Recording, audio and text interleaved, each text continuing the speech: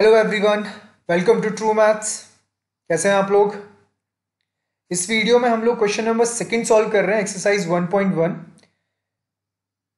इस क्वेश्चन में आपको बताना है बेसिकली uh, एक आपको सेट गिवन है ठीक है? एक सेट गिवन है ए सेट को हम हमेशा कैपिटल लेटर्स में डिनोट uh, करते हैं और जो सेट है वो इक्वल्स टू है मतलब उसके अंदर जो एलिमेंट्स हैं, वो है one two three four five and six ठीक है? तो आपने इंसर्ट करना है अप्रोप्रिएट सिंबल और यहाँ पे दो सिंबल के बने। एक ये वाला और एक ये वाला। इन द ब्लैंक स्पेसेस तो जैसे फाइव और ब्लैंक स्पेस गिवन है और ए लिखा हुआ है तो इस ब्लैंक स्पेस में आपने इसमें से या इसमें से इन दोनों में से कोई एक सिंबल इंसर्ट करना है। ठीक है? पहले मैं सिंबल्स का मतलब समझाता हूँ। जब भी आपको ऐसा ई e टाइप कुछ दिखाई देता है, इसका मतलब होता है बिलोंग्स टू क्या होता है? बिलोंग्स टू बिलोंग्स टू का क्या मतलब है कि जब ये साइन किसी के बीच में आता है तो आपने बताना होता है, जैसे फॉर एग्जांपल मैं कहता हूँ, ये पहला एग्जांपल देखते हैं। फाइव डैश और ए मैं आपसे पूछूँ, क्या इस सेट में फाइव मौजूद है? तो आप कहोगे, सर हाँ मौजूद है। क्योंकि देखिए, इस वाले सेट में फाइव दिख रहा है मुझे यहाँ पे। तो अब अगर मैं इसको थोड़ा मैथमेटिकल टर्म में आपको पूछूँ, क्या फाइव इस सेट को बिलोंग करता है? तो आप कहोगे हाँ सर बिलोंग करता है। तो बेसिकली फाइव क्या इस सेट में प्रेजेंट है? मैं ऐसे बोलूँ नॉर्मल इंग्लिश में, या फिर मैं बोलूँ, क्या फाइव इस सेट को बिलोंग करता है मैथमेटिकल में? मैथमेटिकल डेफिनेशन में तो आप कहते हो हाँ सर ये बिलोंग करता है।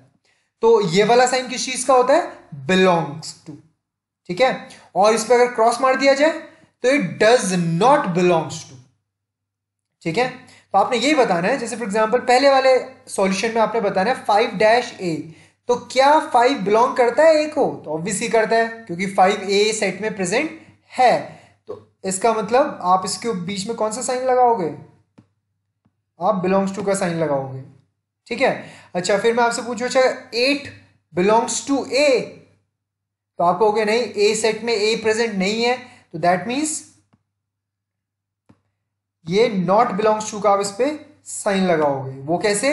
पहले बिलोंग्स टू का साइन बनाओगे और उसको क्रॉस कर दोगे। Means not belongs to similarly क्या ज़ीरो बिलोंग टू ए कर रहा है? मतलब क्या ज़ीरो इस सेट में प्रेजेंट है? ऑब्वियसली नहीं है। तो इसका मतलब ज़ीरो भी does not belongs to A four belong करता है ऑब्वियसली फोर भी बिलोंग करता है, क्योंकि फोर इस सेट में प्रेजेंट है तो four is belongs to A two obviously two भी बिलोंग्स बिलोंग करता है, क्योंकि टू इस वाले सेट में प्रेजेंट है, और लास्ट में टेन क्या टेन बिलोंग करता है को? नहीं, क्योंकि टेन ए में प्रेजेंट नहीं है।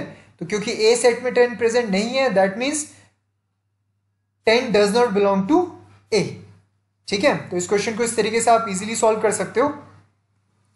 तो आप मुझे प्लीज़ बताओ, आपको ये वीडियो कैसा लगा? कमेंट करके शेयर करके। आप अपने दोस्तों को भी बोलिए कि इसे लाइक कीजिए लाइक करें वो सब्सक्राइब करें हमारे चैनल को शेयर करें, देखें इन वीडियोस को। और हमें बताएँ कि आपको कैसा लगा? कोई प्रॉब्लम होती है तो आप प्लीज़ हमें फ़ोन कर सकते हैं व्हाट्सएप कर सकते हैं। डिस्क्रिप्शन में हम लोगों ने फ़ोन नंबर दिया है। प्लस हमारा ऐप का भी लिंक आपको डिस्क्रिप्शन में मिल जाएगा। प्लीज़ आप हमारा ऐप भी डाउनलोड कीजिए। Thank you thank you very much